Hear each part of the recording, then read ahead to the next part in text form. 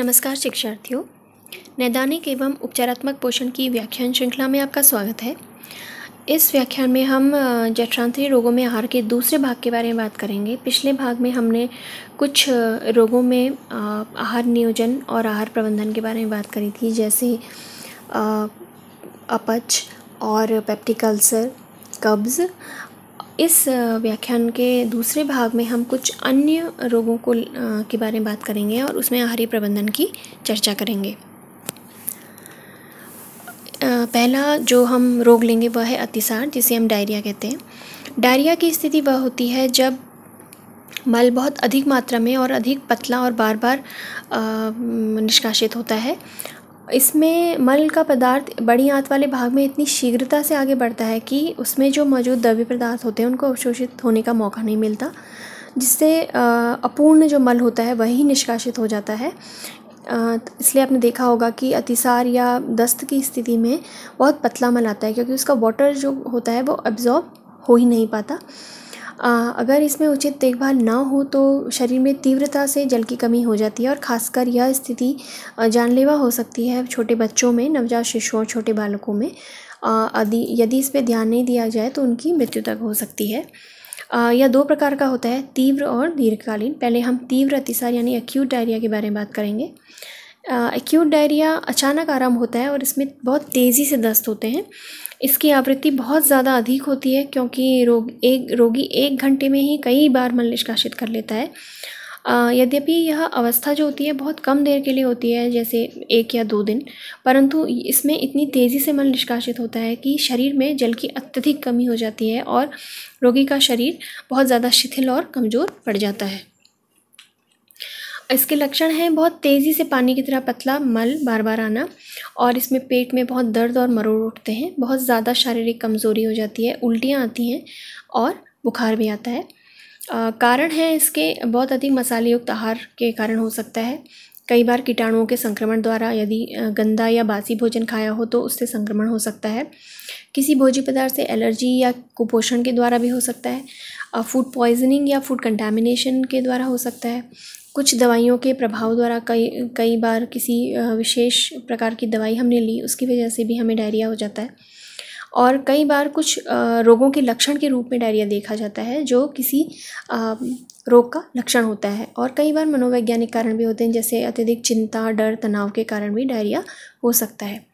अब बात करते हैं इसकी जटिलताएँ यानी कॉम्प्लिकेशंस की। चूँकि तीव्र अतिसार की अवधि बहुत कम होती है परंतु इसकी आवृत्ति बहुत ज़्यादा होती है, इसलिए इसमें शारीरिक जल की कमी बहुत तेज़ी से उत्पन्न होती है और यदि इस स्थिति में जल और इलेक्ट्रोलाइट्स की यदि तुरंत पूर्ति न करी जाए तो रोगी की हालत बहुत गंभीर हो जाती है और मृत्यु की संभावनाएँ काफ़ी बढ़ जाती हैं। इसमें हम आहारी उपचार ओरल रिहाइड्रेशन थेरेपी के माध्यम से दे सकते हैं, क्योंकि इसमें आहारी उपचार का मुख्य उद्देश्य मूलतः जल और लवणों की पूर्ति करना होता है। तो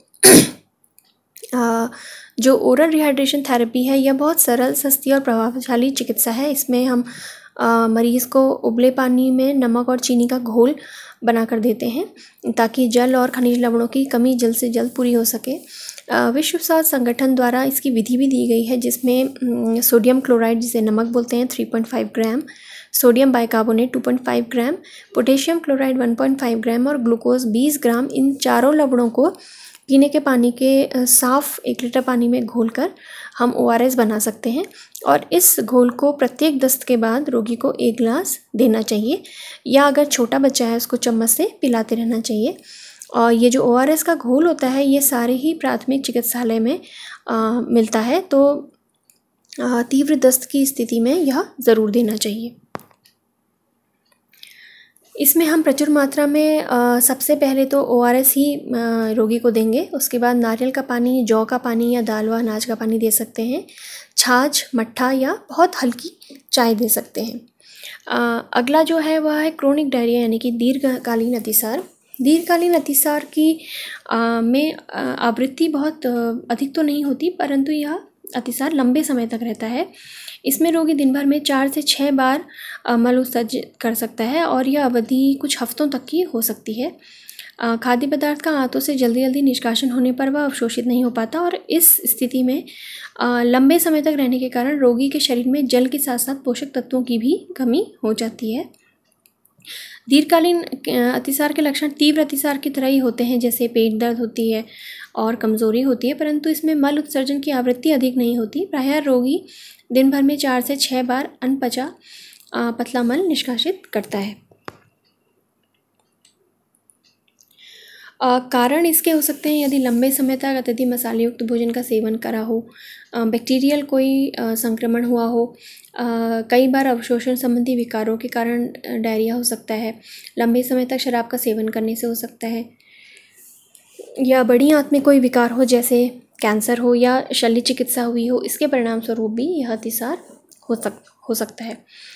कॉम्प्लिकेशंस में चूँकि इसकी अवधि बहुत लंबी होती है तो रोगी काफ़ी समय तक पर्याप्त पोषक तत्वों से वंचित रह जाता है तो इस स्थिति में रोगी कुपोषित हो सकता है और इसकी वजह से उसे कोई भी कुपोषण जनित रोग हो सकता है।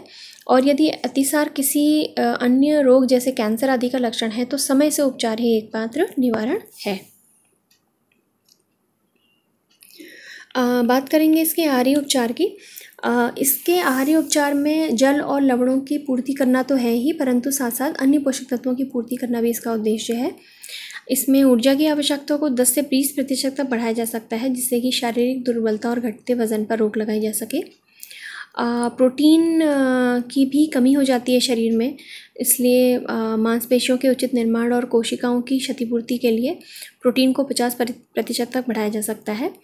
आंतों की बढ़ी हुई क्रियाशीलता के कारण वसा का पाचन एवं अवशोषण नहीं होता, इसलिए इसमें वसा तो वर्जित करनी चाहिए। और परंतु शारीरिक अवस्था के अनुसार बढ़ी हुई ऊर्जा की आवश्यकता पूरी करने के लिए वसा की ज़रूरत तो होती है, इसलिए इसको सरल और आसानी से पचाने वाली वसा देनी चाहिए। विटामिन्स की बात करें तो चूँकि मल में जल के निष्कासन के साथ साथ जल में घुलनशील विटामिन भी उत्सर्जित हो जाते हैं, अतः इनको पर्याप्त मात्रा में देना चाहिए। इसके अलावा वसा वसा के अवशोषण न हो पाने के कारण वसा में घुलनशील विटामिन जैसे ए डी ई और के इन विटामिनों की भी कमी हो जाती है, जिसमें मुख्यतः विटामिन ए है तो इनके अच्छे स्रोतों को भी आहार में शामिल करना चाहिए। बार बार मल के उत्सर्जन में शरीर से कैल्शियम और लौह लवण का अवशोषण नहीं हो पाता, इसलिए इनके स्रोत भी आहार में लेने चाहिए। डायरिया की स्थिति में रोगी को कम से कम रेशे वाला आहार देना चाहिए, जिससे कि आंतों को ज़्यादा तकलीफ़ ना हो। तो इसलिए मूलतः रेशा वर्जित करना चाहिए। और द्रव्य अतिसार की स्थिति में भरपूर मात्रा में देना चाहिए, जिसमें ओआरएस का घोल हो सकता है, सादा पानी, नींबू पानी, सूप, फलों का रस, इन सभी प्रकार के द्रव्यों का सेवन किया जा सकता है। प्रचुर मात्रा में देने योग्य भोज्य पदार्थ और वर्जित भोज्य पदार्थ देख लें हम यहाँ पर। प्रचुर मात्रा में हम धुली हुई दालें दे सकते हैं रिफाइंड सीरियल्स दे सकते हैं।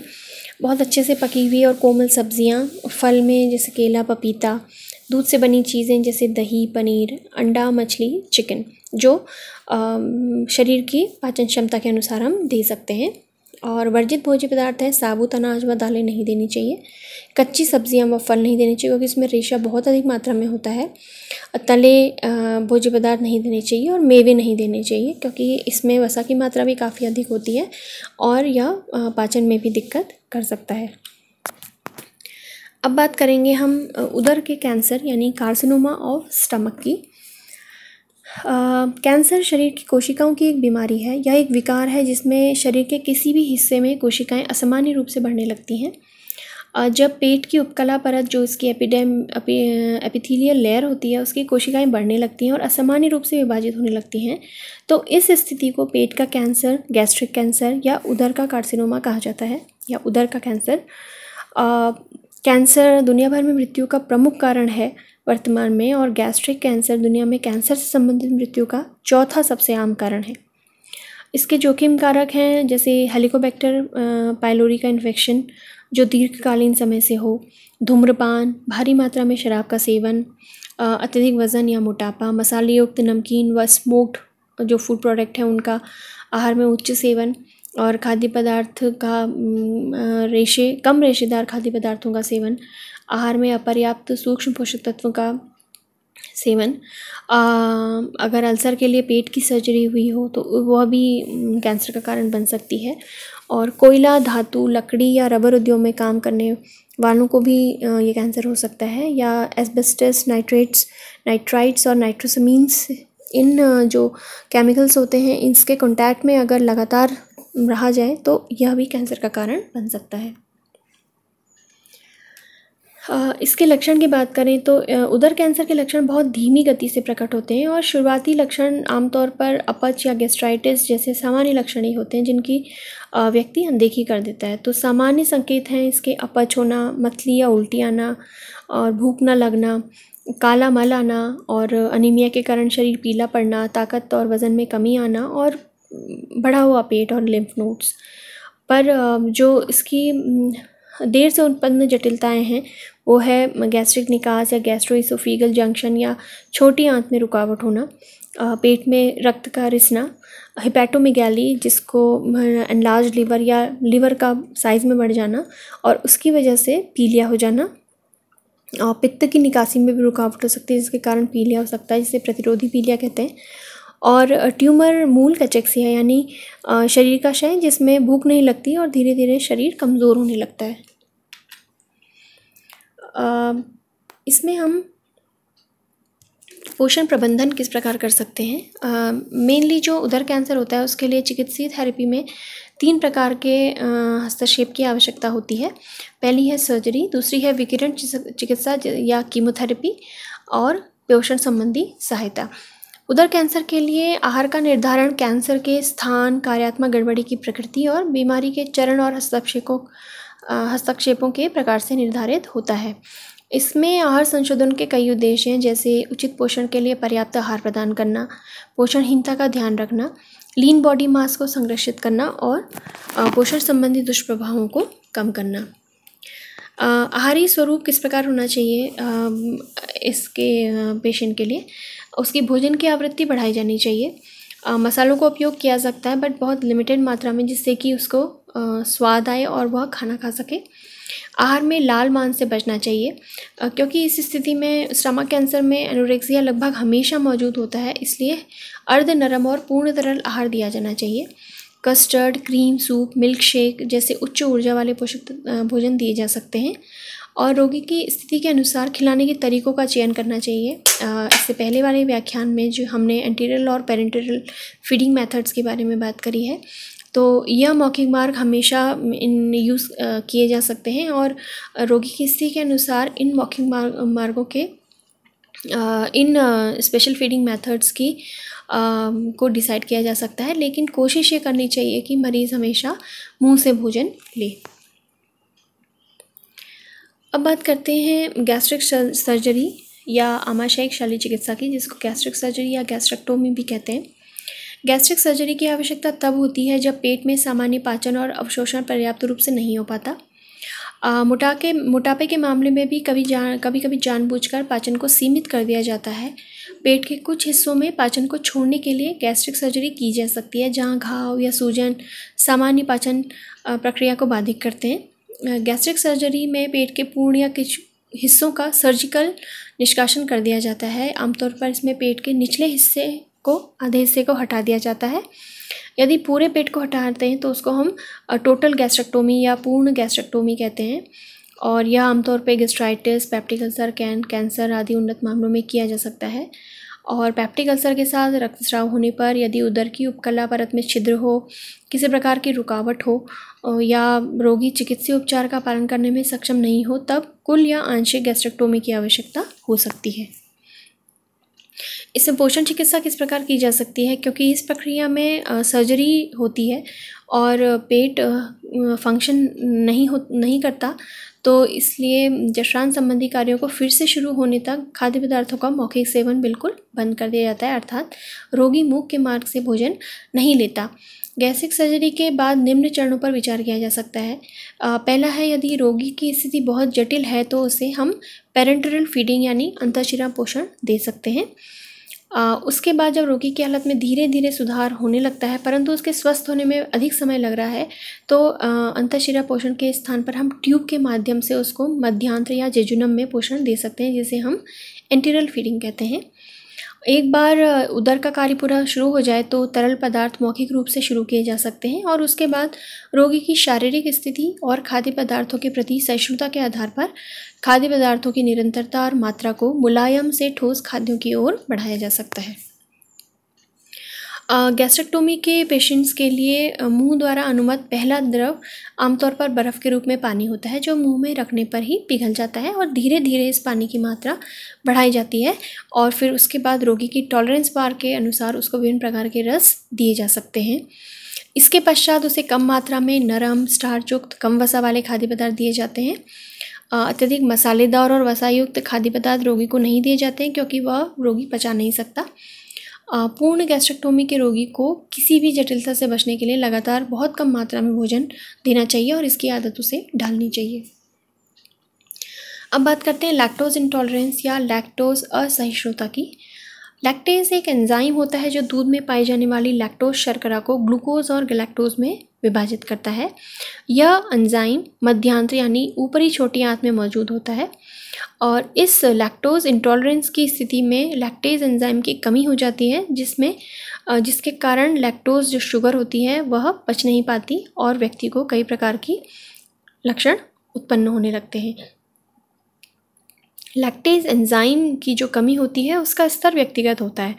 और यही डिसाइड करता है कि व्यक्ति में लैक्टोज जो इंटॉलरेंस है, उसकी गंभीरता कितनी है। जब लैक्टेज एंजाइम की कमी होती है तो अंतर्ग्रहित लैक्टोज बिना पाचन के बड़ी आंत में प्रवेश कर जाता है और यहाँ पर यह आंतों के माइक्रोफ्लोरा द्वारा पचाया जाता है, जिससे यह लैक्टिक एसिड में कन्वर्ट हो जाता है, जो अतिसार और लैक्टोज अहिष्णुता के अन्य लक्षणों का कारण बनता है। लैक्टोज असहिष्णुता के सामान्य लक्षणों में एनोरेक्सिया और मतली, आंतों में फुलाव, पेट में ऐठन, गैस और पेट फूलना, गंभीर अतिसार, अल्पोषण और वज़न की कमी जैसे लक्षण दिखाई देते हैं। इसके कारक हैं ऐसे अनुवांशिक हो सकता है। आंतों में संक्रमण के कारण लैक्टेज की गतिविधि कम हो सकती है। सीलियक स्प्रू कोलाइटिस जैसी बीमारियाँ, जिसमें मध्यांतरी विलय संरचनात्मक रूप से क्षतिग्रस्त हो जाती है। उसके कारण भी लैक्टोज इंटॉलरेंस हो सकता है। या शल्य चिकित्सा द्वारा मध्यांतर के निकाले जाने के कारण भी लैक्टोज अहिष्णुता हो जाती है। पोषण प्रबंधन में इसमें निर्धारित आहार ही दिया जाता है, जिसमें लैक्टोज के प्रबंधन को मुख्य मुख्य रूप से किया जाता है। और आहारी उपचार की योजना लैक्टेज गतिविधि के स्तर पर निर्भर करती है, जो बहुत कम, मध्यम, कम और हल्के रूप से कम लैक्टेज की गतिविधि हो सकती है। लैक्टेज गतिविधि के बहुत कम स्तर पर आहार से सभी दूध उत्पादों को हटा दिया जाता है और इस स्थिति में दूध के विकल्प जैसे सोया दूध, मूंगफली का दूध या उनके उत्पाद दिए जा सकते हैं। लैक्टेज गतिविधि की मामूली कम और मध्यम स्तर पर सहनशीलता के आधार पर दूध का सेवन अनुमेय होता है। इसमें दूध का किण्वित रूप यानी फर्मेंटेड फॉर्म दिया जाता है और पकाया हुआ फॉर्म दिया जाता है क्योंकि यह बेहतर रूप से सहन किया जा सकता है। फर्मेंटेशन की वजह से लैक्टोज का एक प्रमुख भाग लैक्टिक एसिड में कन्वर्ट हो जाता है। यह छाछ, दही कस्टर्ड दलिया और पनीर के रूप में या अनाज, कोको आदि के साथ मिश्रित होने पर बेहतर सहन किया जाता है। दूध और दूध उत्पादों के प्रतिबंधित होने के कारण शरीर में कैल्शियम की कमी हो सकती है और इस कमी को पूरा करने के लिए आहार में कैल्शियम युक्त यानी खाद्य पदार्थ या बहुत अधिक कमी होने पर कैल्शियम के पूरक भी दिए जाने चाहिए। बात करते हैं शोभी आंत्रविकार यानी इरिटेबल बाउल सिंड्रोम की। यह मूलतः एक रोग नहीं बल्कि संकेतों और लक्षणों का एक समूह है जो एक व्यक्ति आंत की परिवर्तित गतिशीलता और पाचन नली की संवेदनशीलता के कारण अनुभव करता है। आंतरिक तंत्रिका तंत्र खाद्य पदार्थों की मात्रा, आयतन और रासायनिक संरचना की उपस्थिति के प्रति अधिक संवेदनशील हो जाता है। इसमें कोई ऊतक क्षति और सूजन नहीं होती और कोई प्रतिरक्षात्मक दुष्क्रिया भी शामिल नहीं होती। गंभीर संकेत और लक्षण कभी कभार ही दिखाई देते हैं। कभी कभार अतिसार, कब्ज़ और पेट दर्द इसके सामान्य लक्षण हैं और शौच जाने के बाद जिनसे आमतौर पर राहत मिल जाती है। इसके सामान्य संकेत हैं, पेट में दर्द होना, ऐठन, सूजन, अत्यधिक गैस होना, अतिसार होना या कब्ज़ होना, और हमेशा अपूर्ण निष्कासन की अनुभूति होना या मलाशय में दर्द होना या मल में म्यूकस का निकलना, श्लेष्म का निकलना। शोभी आंत्र विकार के गंभीर मामलों में संकेत और लक्षण हैं। वज़न का घटना मूलतः रात में अतिसार, मलाशय से खून आना, लोहे की कमी से अनीमिया होना अस्पष्टीकृत वमन। निगलने में कठिनाई, लगातार दर्द रहना जिसमें गैस होना, मल त्याग करने में राहत, मल त्याग करने के बाद भी राहत न मिलना। इसके जोखिम कारक हैं जठ आंत्रप्रत के संक्रमण के द्वारा यह हो सकता है। दीर्घकालीन बुखार, पिछली कोई बीमारी, तनाव, चिंता, अवसाद या लग्जेटिव्स का बहुत ज़्यादा प्रयोग एंटीबायोटिक्स कैफ़ीन नींद और आराम का कोई नियमितता ना होना या तरल पदार्थों के सेवन में नियमितता का अभाव एलर्जी का पारिवारिक इतिहास और कुछ विशेष खाद्य पदार्थों के प्रति अति संवेदनशीलता इसके जोखिम कारक हैं। पोषण संबंधी देखभाल के इरिटेबल बाउल सिंड्रोम में उद्देश्य हैं कि पहला उद्देश्य है पर्याप्त पोषक तत्वों का सेवन सुनिश्चित करना। खाद्य पदार्थों के लिए सही चयन करके रोगी का मार्गदर्शन करना और आहार प्रथाओं की भूमिका पर ध्यान केंद्रित करना। पोषण संबंधी देखभाल के लक्ष्यों को प्राप्त करने के लिए, अच्छे पोषण की स्थिति सुनिश्चित करने के लिए और लक्षणों से छुटकारा पाने के लिए इरिटेबल बाउल सिंड्रोम के लिए पेशेंट के लिए निम्नलिखित बातों पर विचार किया जा सकता है। जैसे आहारीय वसा, कैफ़ीन, शर्करा जैसे लैक्टोज और फ्रक्टोज सॉर्बिटोल के उपयोग को सीमित करें। अधिक आवृत्ति में परंतु छोटी मात्रा के लगातार आहार का प्रयोग करें। चोकड़ और मोटे अनाज का अत्यधिक उपयोग नहीं करना चाहिए। आहारी रेशे की सीमा दैनिक सीमा 25 ग्राम तक बढ़ाने से आंतरिक आदतों को सामान्य बनाने में मदद मिल सकती है। विस्तृत रेचक के रूप में घुलनशील रेशा सहायक होता है। लक्षणों से राहत पाने के लिए तरल पदार्थों का पर्याप्त मात्रा में सेवन करना चाहिए और ध्यान, योग, व्यायाम जैसी विभिन्न तकनीकों के माध्यम से हम तनाव को कम कर सकते हैं, जिससे लक्षणों में राहत मिलती है। तो शिक्षार्थियों, आपने देखा कि इस व्याख्यान में हमने मूलतः कई सारे जठरांतरी रोगों के बारे में बात करी और उनके पोषण प्रबंधन के बारे में बात करी कि किस प्रकार विभिन्न रोगों में आहारी प्रबंधन करके उनके लक्षणों में राहत मिल सकती है और रोगी को जल्दी ठीक करने में मदद मिल सकती है। इस व्याख्यान के बाद के अगले व्याख्यान में हम हृदय रोगों में आहार नियोजन के बारे में बात करेंगे। धन्यवाद।